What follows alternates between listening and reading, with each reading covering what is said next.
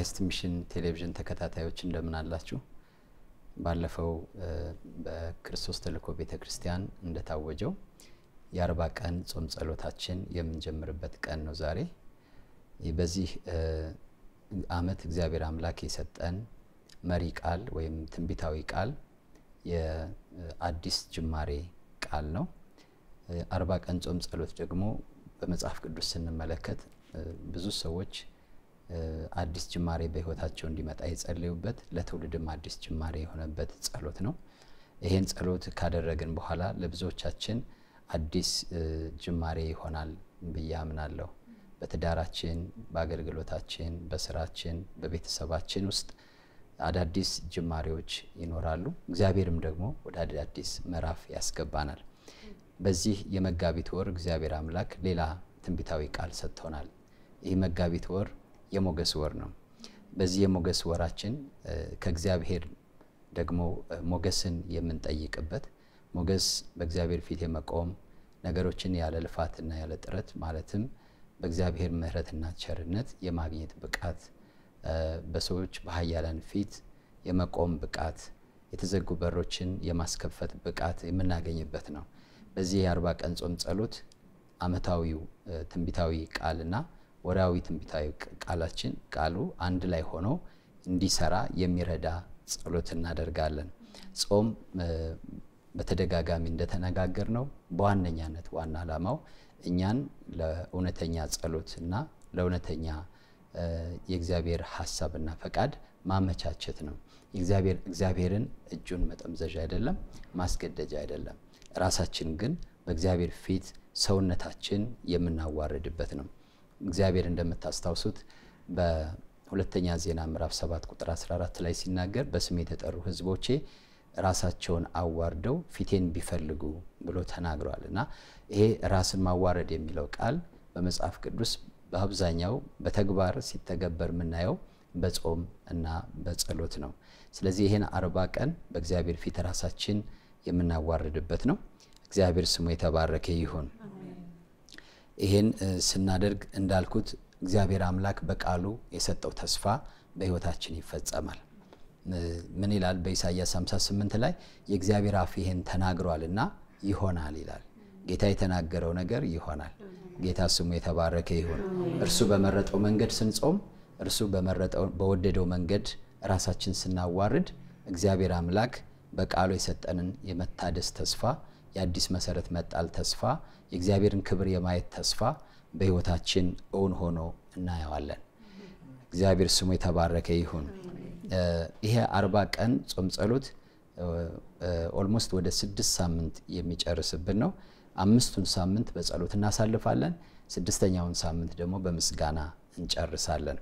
የመጀመሪያው የዛሬ የምንጸልየው እያንዳንዱ ሳምንት የራሱ ርዕሶች አሉት። የመጀመሪያው ሳምንት የራስን በእግዚአብሔር ፊት የማዋረድ ሳምንት ነው። ዝቅ የማድረግ ሳምንት ነው። ራስን በእግዚአብሔር ፊት ትሁት የማድረግ ሳምንት ነው። በመጽሐፍ ቅዱስ ላይ ራሳቸውን ያዋረዱ ሰዎች ከእግዚአብሔር ቁጣ እና ከእግዚአብሔር ፍርድ ሳይቀር አምልጠዋል። ለምሳሌ ነነዌ የነነዌን ከተማ ስናይ ነነዌ በዛን ጊዜ በጣም ስልጡን ከተማ ነበረች። ብዙ አመፃና ኃጢአት የሚደረግባት እግዚአብሔር በጣም የተቆጣት ከተማ ነበረች። እግዚአብሔር አምላክ በነቢዩ ዮናስ አማካኝነት ቁጣውን እና ፍርዱን ባሳወቃቸው ጊዜ ንጉሱ አዋጅ አሳወጀ። በአገሪቱ ያሉ እንስሳትም ሳይቀር ሕፃናት ሳይቀር ሁሉም ለሶስት ቀን ምንም አይነት ውሃ እንዳይጠጣ ምግብ እንዳይበላ ከብቶችም ወደ እንዳይሰማሩ የሚል አዋጅ ያወጣ እና እግዚአብሔር አምላክ ምሕረቱን እንደገና አሰበና የመጣውን ቁጣ የመጣውን ፍርድ ቀለበሰው። እግዚአብሔር ስሙ የተባረከ ይሁን። ስለዚህ እግ- እግዚአ- በእግዚአብሔር ፊት ራስን ማዋረድ የእግዚአብሔርን ምሕረትና ቸርነት የመቀበያ መንገድ ነው።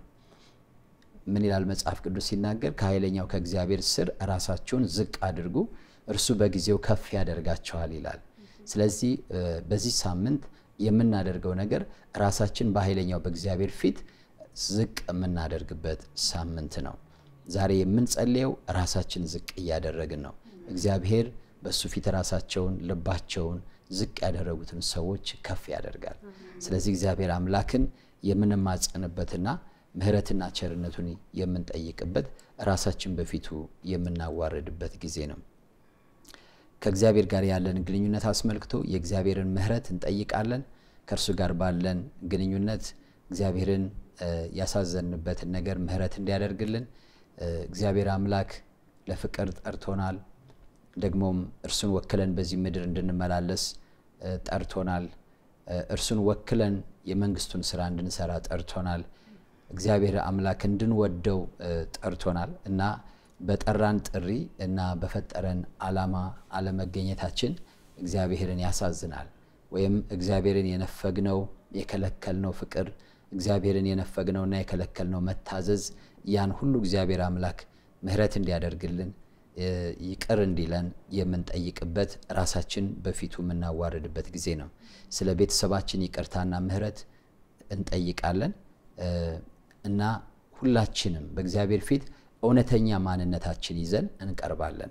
የተሸፈነ ማንነታችን ሳይሆን በሃይማኖት በቋንቋ ማለትም ሃይማኖታዊ በሆነ ቋንቋ የተሸፈነ ሳይሆን እውነተኛ ድካማችን፣ ስንፍናችን እና እጥረታችን፣ ውስንነታችን በእግዚአብሔር ፊት በመናዘዝ እግዚአብሔር አምላክ ደካሞች መሆናችን ኃጢአተኞች መሆናችን እና የልቡን ሀሳብና ፈቃድ ለመፈጸም አቅም የሌለን ሰዎች መሆናችን ተመልክቶ ምሕረትና ቸርነት እንዲያበዛልን የምንጠይቅበት ሰዓት ነው።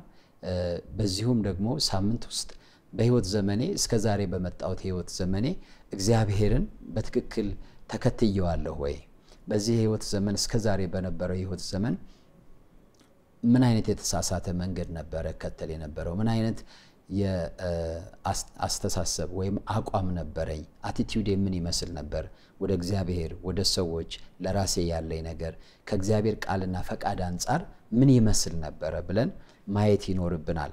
እንግዲህ ራዲካል ማለት ፍጹም የሆነ ለውጥና ፍጹም ወደሆነ አዲስ ምዕራፍ መግባት ካስፈለገ ሙሉ በሙሉ በእግዚአብሔር ፊት እስከ ዛሬ ስንመጣ እግዚአብሔር ወደ ያዘልን የተስፋ ቃል እንዳንገባ ቸርነቱና ምሕረቱን እንዳንለማመድ የእግዚአብሔር ጸጋ እና ኃይል በሕይወታችን እንዳይበዛ እግዚአብሔር በቃሉ እንዳለው በጓዳችንም በውጫችንም በውስጣችንም በረከቱ እንዳይፈስ የከለከለውን ነገር ሁሉ በደንብ አስተውለን እግዚአብሔርን ምሕረት መጠየቅ ይኖርብናል። ይሄን ካደረግን በትክክል እግዚአብሔር አምላክ በሌሎቹ ቀናቶች የምንጸልያቸው ጸሎቶች አሉ። በሁለተኛው ሳምንት፣ በሶስተኛው ሳምንት፣ በአራተኛው ሳምንት እነዛን ነገሮች ወደ መሆን ያመጣቸዋል። ስለዚህ ለቀጣዮቹ አራት ሳምንቶች የሚረዳንን መሰረት ነው አሁን የምንጥለው ወይም በዋነኛነት ራሳችን በእግዚአብሔር ፊት ዛሬ እናዋርዳለን። ከጸሎቱ በኋላ ደግሞ የጌታን እራት ባላችሁበት ቦታ ተዘጋጅታችሁ አብረን እንወስድና ከዛ በኋላ ጾማችን እንፈታለን ማለት ነው የዛሬውን እና ፊቱን ለመፈለግ ራሳችን በፊቱ ያፈሰስንበት ቀን እሱ እጅግ በእግዚአብሔር ዘንድ የተወደደ ቀን ነው። ከጋብቻችን ቀን፣ ከሰርጋችን ቀን፣ ከጫጉላ ቤታችን ሽርሽር፣ ከማንኛውም ደስ ያሰኘናል ብለን ከምናስባቸው ነገሮች ሁሉ በላይ ራሳችን በእግዚአብሔር ፊት ለማዋረድ የቀደስንበት ቀናትን የለየንበትን ቀን የሚያክል የተከበረና ታሪካዊ ቀን የለም። ለምን? ወደ እግዚአብሔር የዘላለም ሀሳብ የሚያስገባን ጊዜ ስለሆነ ብዙ በሕይወታችን ብዙ ጊዜ እንዳንገባ እግዚአብሔር ወደ ያዘልን ሀሳብና ፈቃድ እንዳንገባ ብዙ ግድግዳዎች አሉ። ብዙ የሚጋርዱን ግርዶሾች አሉ። ብዙ የሚከልሉን አጥሮች አሉ። ጾምና ጸሎት ምንድን ነው የሚያደርገው? እነዛን አጥሮች ሰብረን እንድንገባ ወደ እግዚአብሔር የዘላለም ሀሳብ እንድንገባ እግዚአብሔር ወደ ያዘልን እቅድ እንድንለቀቅ ያደርገናል። ጌታ ስሙ የተባረከ ይሁን። የሐዋርያት ሥራ ምዕራፍ 13 ላይ በአንጾኪያ ቤተ ክርስቲያን ነቢያቶች ነበሩ፣ አስተማሪዎች ነበሩ። በዛ እነ ጳውሎስ እና እነ ሲላስ እነ በርናባስ ተሰብስበው ይጾሙና ይጸልዩ ነበረ። እየጾሙ እግዚአብሔርን ያመልኩ ነበር። በዛን ሰዓት መንፈስ ቅዱስ ለዛ ጉባኤ ድምፅ አመጣ። ምን አለ? ሳውልንና ሳውልንና ሲላስን እኔ ለጠራኋቸው ስራ ለዩልኝ የሚል ድምፅ መጣ። እንግዲህ አስቡት፣ በጾም በጸሎት ሰው ወደ ጥሪው እግዚአብሔር ወደ ያዘለት የዘላለም ሀሳብና ፈቃድ ውስጥ ይገባል ማለት ነው። ጌታ ስሙ የተባረከ ይሁን። ባይሆንስ ሳይገባ ዘመኑ ሊያልቅ ይችላል። ባይሆንስ የእግዚአብሔርን እግዚአብሔር ለሕይወቱ የያዘለትን ታላቅ ዓላማ ሳያየው ሁሉም ሰው የሚያደርገውን ነገር አድርጎ ያልፋል ማለት ነው። ስለዚህ ሁሉም ሰው እየሄደበት ካለ በጋራ እየነጎደበት ካለው ጎዳና ወጥቶ እግዚአብሔር ወደ ያዘለት ጎዳና ለመግባት አንድ ሰው በሕይወቱ ዘመን አንድ ጭክን ያለ የእግዚአብሔርን ፊት የሚፈልግበት ልዩ ጊዜ ያስፈልገዋል። እኔ ጸሎቴ ይህ የጾም ጸሎት ለእናንተ እንደዚህ አይነት ልዩ ጊዜ እንዲሆንላችሁ ነው።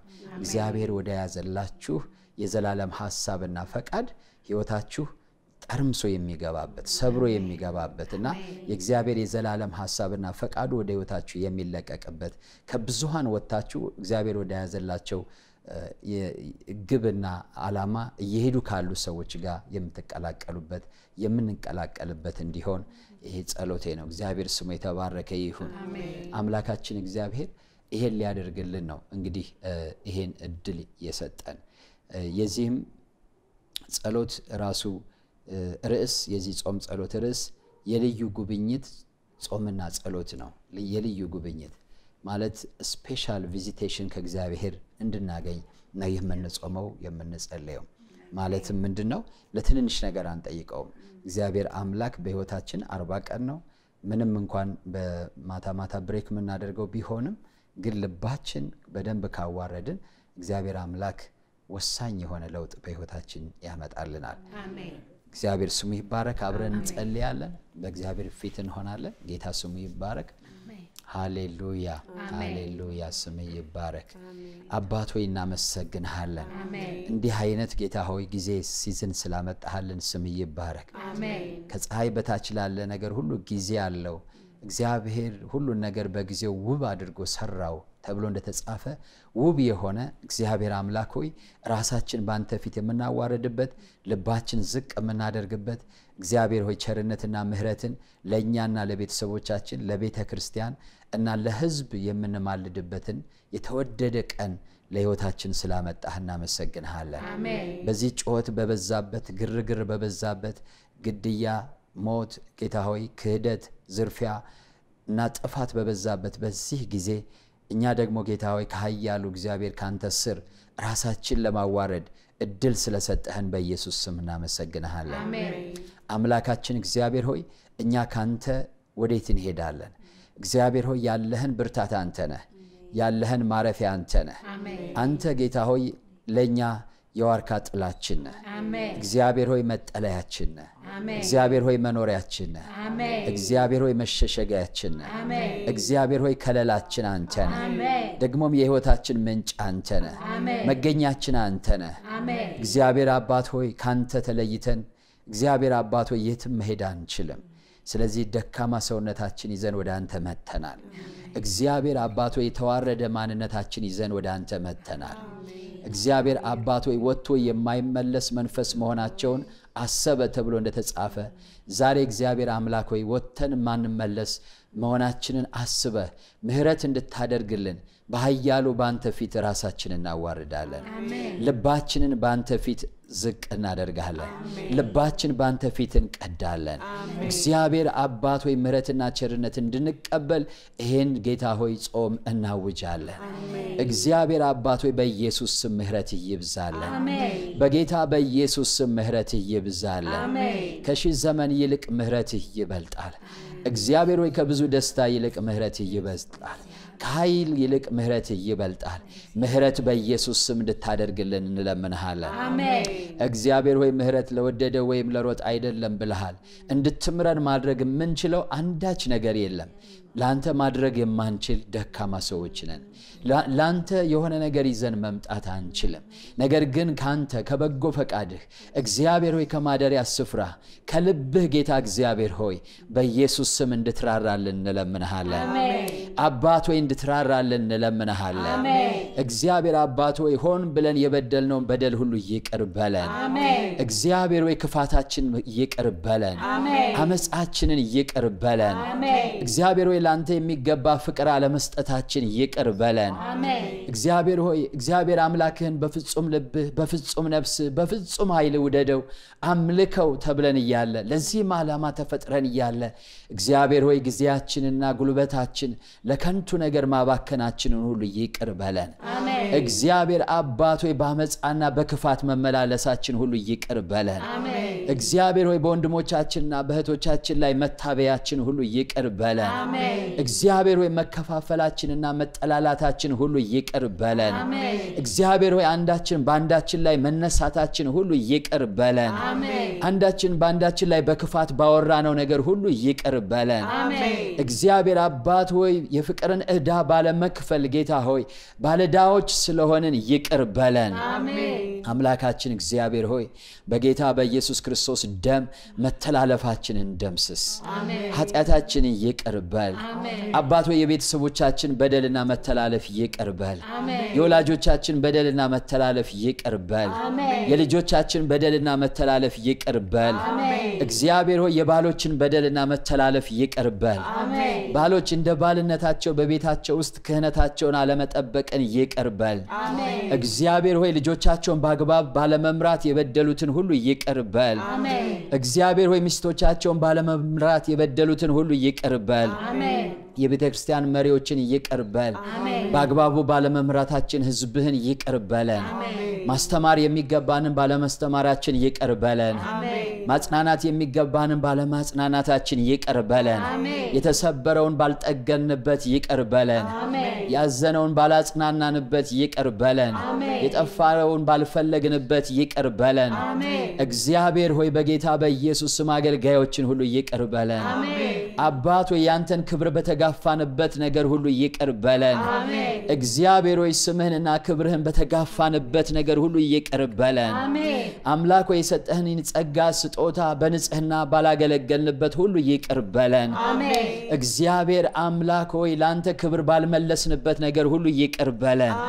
የሚገባህን ክብር በአገልግሎት ባለመምጣታችን ይቅር በለን። እንደሚገባ ለአገልግሎት ባለመቆማችን ሁሉ ይቅር በለን። ቃልህን በታማኝነት በንጽህና ለሰዎች ባለማቅረባችን ይቅር በለን። ቃልህን እንደ ፈቃዳችን በተረጎምንበት ነገር ሁሉ ይቅር በለን። እንደፈለግን በሰበክንበት ነገር ሁሉ ይቅር በለን። ለሚጠፉ ነፍሳት ግድ ሳይለን ስለቀረ እግዚአብሔር ሆይ ይቅር በለን። ለሚሞቱ ግድ ስላላለን ይቅር በለን። የታላቁ ተልእኮን ጌታ ሆይ ዓላማ ባለመፈጸም ተልኳችን ችላ ባልንበት ነገር ሁሉ ይቅር በለን። እግዚአብሔር አባት ሆይ መተላለፋችን ይቅር በለን። መንፈሳዊ ነገር ለስጋዊ ትርፍ ባደረግንበት ነገር ሁሉ ይቅር በለን። እግዚአብሔር ሆይ በኢየሱስ ስም ይቅር በለን። አባት ሆይ በኢየሱስ ስም ይቅር በለን። በክፋት በወጣንበት ይቅር በለን። በሐሜት በወጣንበት ይቅር በለን። እግዚአብሔር ሆይ የክርስትናን ደረጃ ዝቅ ባደረግንበት ይቅር በለን። ስምህን ባሰደብንበት ነገር ሁሉ ይቅር በለን። በተሰዳደብንበት ሁሉ ይቅር በለን። ዝቅ ተደራርገን በተያየንበት ነገር ሁሉ ይቅር በለን። በተናናቅንበት ነገር ሁሉ ይቅር በለን። እግዚአብሔር ሆይ የሰዎችን በደል በቋጠርንበትና በያዝንበት ነገር ሁሉ ይቅር በለን። እግዚአብሔር ሆይ ምሕረትና ቸርነትን እንለምናለን። አባት ሆይ በኢየሱስ ስም ማረን። ሆይ በኢየሱስ ስም ማረን። ሆይ በኢየሱስ ስም ማረን። ሆይ የሽማግሌዎችን በደል ይቅር በል። አባት ሆይ የወጣቶችን በደል ይቅር በል። አባት ሆይ የልጆችን በደል ይቅር በል።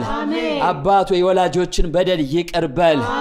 ልጆችና ወላጆች ባለን ግንኙነት ምሕረትን አድርግ እግዚአብሔር ሆይ እግዚአብሔር ወደ ያዘልን በጎ መልካም ፍጻሜ ልታደርሰን መተስ ሳለ አንተን ችላ ያልንበትን ነገር ሁሉ ይቅር በለን።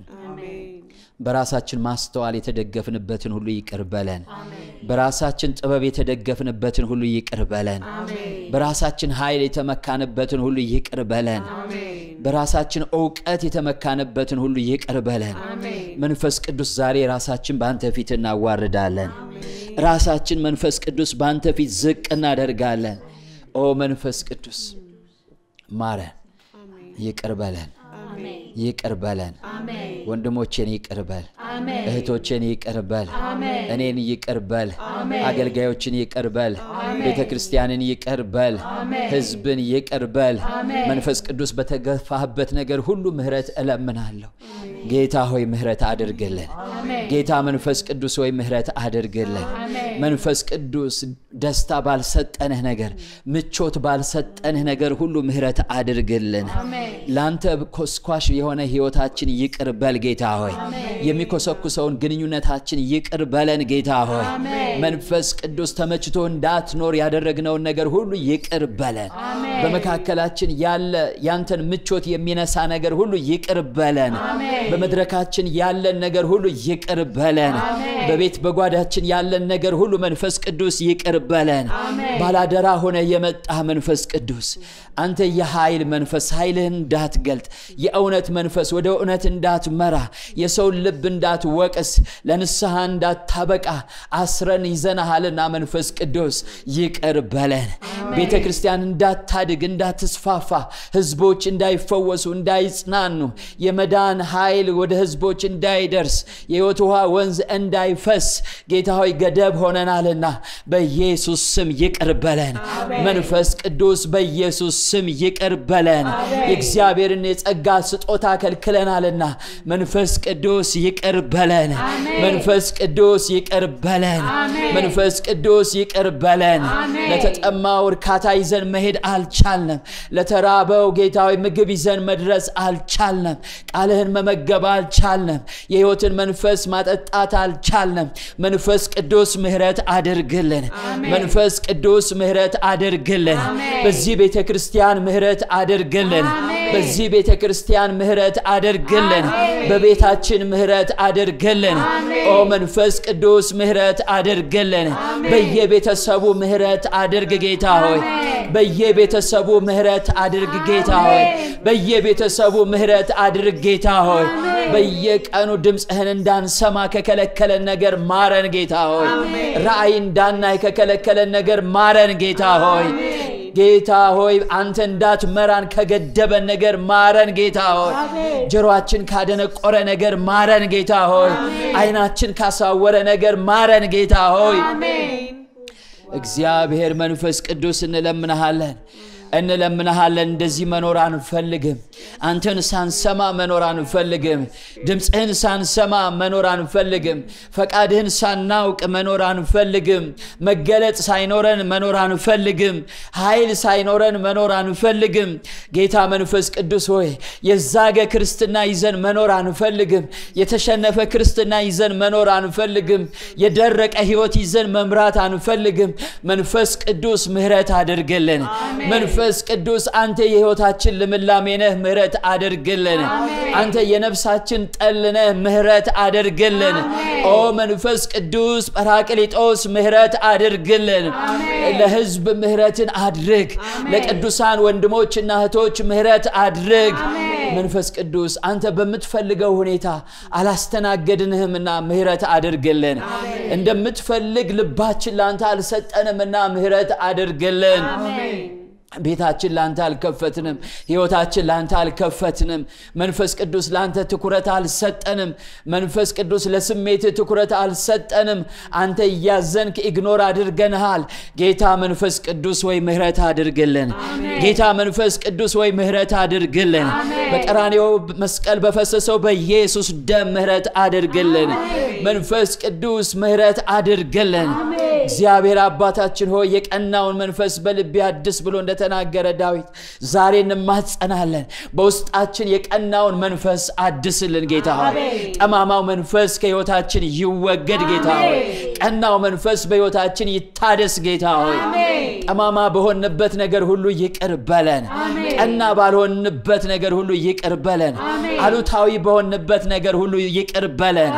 ጌታ ሆይ በኢየሱስ ስም ይቅር በለን። አባት ሆይ በኢየሱስ ስም ይቅር በለን። የወገኖችን በደል ባዝንበት ነገር ይቅር በለን። ጌታ ሆይ ምሕረት እንለምናለን። ምህረት እንለምናለን። ምህረት ከአንተ ዘንድ እንለምናለን። ስለ ቃልህ ማርኩ ብለህ ለሙሴ እንደተናገርክ ሙሴ ጌታ ሆይ ልታጠፋቸው በተነሳ ጊዜ አንተ መሐሪና ይቅር ባይ ነህ ብለሃል እና ሕዝብህን ይቅር በል ባለ ጊዜ ስለ ቃልህ ምሬአለሁ እንዳልክ ጌታ ሆይ ስለ ቃልህ ማረን። ጌታ ሆይ ስለ ቃልህ ማረን። ጌታ ሆይ ስለ ቃልህ ማረን። ጌታ ሆይ የምሕረት አምላክ ስለሆንክ እናመሰግንሃለን። የይቅርታ አምላክ ስለሆንክ እናመሰግንሃለን። ይቅር በማለት ደስ የሚልህ አምላክ አምላካችን እግዚአብሔር ሆይ ደግሞ ምሕረትን ስላደረግክልን እናመሰግንሃለን። የልጁ የኢየሱስ ክርስቶስ ደም ከኃጢአት ሁሉ ያነጻል ተብሎ ተጽፏልና ዛሬ በኢየሱስ ደም ቤታችን የታጠበ ይሁን፣ ሕይወታችን የታጠበ ይሁን። ኃጢአታችሁ እንዳለላ ብትቀላ እንደ አመዳይ ትነጻለች ብለሃል። ጌታ ሆይ ኃጢአታችን እንዳለላ በቀላችበት ነገር ሁሉ የልጅ የኢየሱስ ደም ያንጻን። ጌታ ሆይ ንጹሑን ልብ ይመለስልን። የቆሸሸው ነገር ሁሉ ከላያችን ላይ ይወገድ። እነዚህ እነማን ናቸው ነጩን ልብስ የለበሱ ብሎ በጠየቀ ጊዜ እነዚህ ልብሳቸውን በበጉ ደም አጥበው ያነጹ ናቸው እንዳለ ጌታ ሆይ ጌታ ሆይ በደምህ እርጨን እንነጻለን፣ እንደ በረዶም ነጭ እንሆናለን። በሰውነታችን ላይ ደምህ ይረጭ፣ በህሊናችን ላይ ደምህ ይረጭ፣ በቤታችን ላይ ደምህ ይረጭ፣ ለአገልግሎታችን ደምህ ይረጭ። ጌታ ኢየሱስ ሊቀ ካህናችን ሆይ ከኃጢአታችን አንጻን። ልጆች ሆይ ኃጢአትን አታድርጉ፣ ኃጢአትን ብታደርጉ ግን ከአብ ዘንድ ጠበቃ አላችሁ፣ እርሱም ጻድቅ የሆነ ኢየሱስ ክርስቶስ ነው ተብሎ ተጽፏል። ጠበቃችን ጌታ ኢየሱስ አሁን በደምህ እንድታነጻ እንጠይቀሃለን። ጌታ ሆይ ከተናዘዝነው ኃጢአት ሁሉ በደምህ አንጻን። ጌታ ሆይ ከክፉ መንገዳችን ሁሉ በደምህ አንጻን። ክፋትን ለማድረግ ከሄድንበት መንገድ ሁሉ በደምህ አንጻን። ከሞተ ስራ ህሊናችን አንጻን። ጌታ ሆይ ጌታ ሆይ የሞተ ስራ ህሊናችን አያቆሽሸው። የሞተ ስራ ድምፅህን እንዳንሰማ አይከልክለን።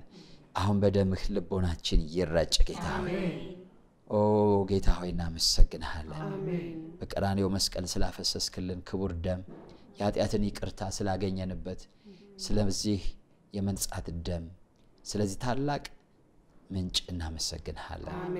ክብር ለአንተ ይሁን በጌታ በኢየሱስ ስም አሜን፣ አሜን። ሃሌሉያ። እግዚአብሔር እንደ ቃሉ የታመነ አምላክ ነው። ምሕረትንና ይቅርታን ስንጠይቀው እግዚአብሔር ምሕረትና ይቅርታን ያደርጋል። ደግሞ እግዚአብሔር አምላክ የገባልን ኪዳን አዲሱ ኪዳን የምሕረት ኪዳን ነው።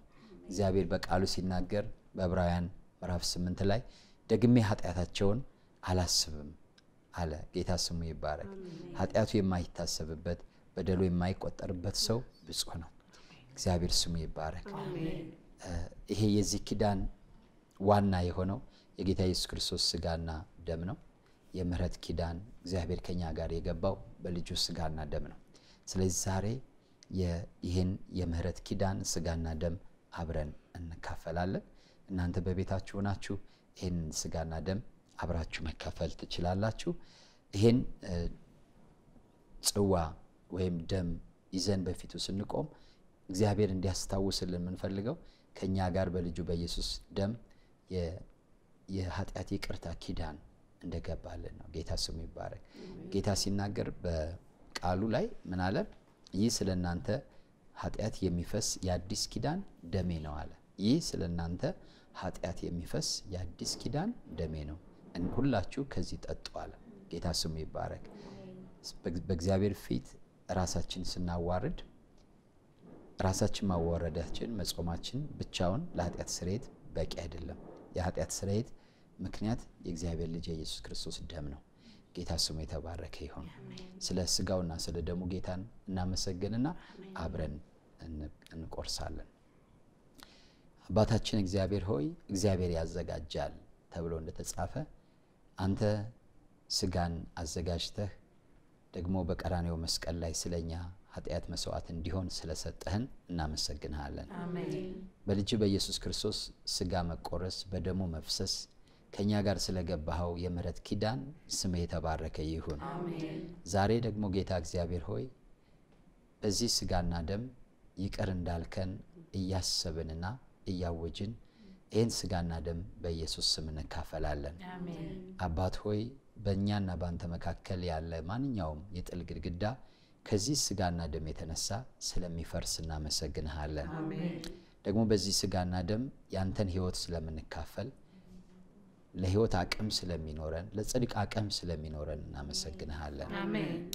ዛሬ የምንቆርሰው ይህ ህብስት በጌታ በኢየሱስ ስም ከአንተ ስጋና ደም ጋር ህብረት እንዲኖረው ጸለይን። ይህም ጽዋ ከፈሰሰው ደምህ ጋር ህብረት እንዲኖረው ጸለይን። ዛሬ ይሄን ፕሮግራም እየተከታተሉ የሚካፈሉ ሁሉ የምሕረት ተካፋዮች ይሁኑ። ይሄን ፕሮግራም እየተካፈሉ ያሉ ሁሉ የቸርነት ተካፋዮች ይሁኑ። በኢየሱስ ክርስቶስ ስም ይህን ኪዳን እንቀሰቅሳለን። ከዚህ ደም የተነሳ የምሕረት ኪዳንህ በየቤቱ ሕያው እንዲሆን ጸለይን። እናመሰግንሃለን። በጌታ በኢየሱስ ስም አሜን። አሁን አብረን የምንካፈልበት ሰዓት ነው። እግዚአብሔር ስሙ የተባረከ ይሁን። እግዚአብሔርን ቃል አነብና ሁልጊዜ እንደምንካፈለው ቃሉ ማነብበት ምክንያት ቃሉ ባለስልጣን ስለሆነ የእግዚአብሔር ቃል የምንባርከውን ህብስትና የምንባርከውን ጽዋ ስለሚባርከው ነው የምንማነበው። እግዚአብሔር ስሙ የተባረከ ይሁን። ያን እናደርጋለን። ቤታችሁ ያላችሁ ከኔ ጋር የያዛችሁትን ህብስትና ጽዋ አብረን እንባርከዋለን። ሲበሉም ኢየሱስ እንጀራን አንስቶ ባረከ፣ ቆርሶም ለደቀ መዛሙርቱ ሰጠና እንካችሁ ብሉ፣ ይህ ሥጋዬ ነው አለ። በጌታ በኢየሱስ ክርስቶስ ስም ህብስቱን እንበላለን። ጽዋንም አነስቶ አመስግኖም ሰጣቸው፣ እንዲህ አለ፣ ሁላችሁ ከእርሱ ጠጡ። ስለ ብዙዎች ለኃጢአት ይቅርታ የሚፈስ የአዲስ ኪዳን ደሜ ይህ ነው። በጌታ በኢየሱስ ስም ደሙን እንጠጣለን።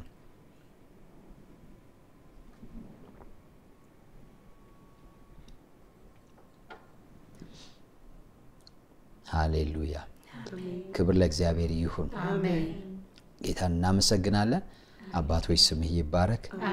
ስለ ምሕረትህ እናመሰግንሃለን። ስለ ኪዳንህ እናመሰግንሃለን። ስለ ይቅርታህ እናመሰግንሃለን። ክብር ለስሙ ይሁን።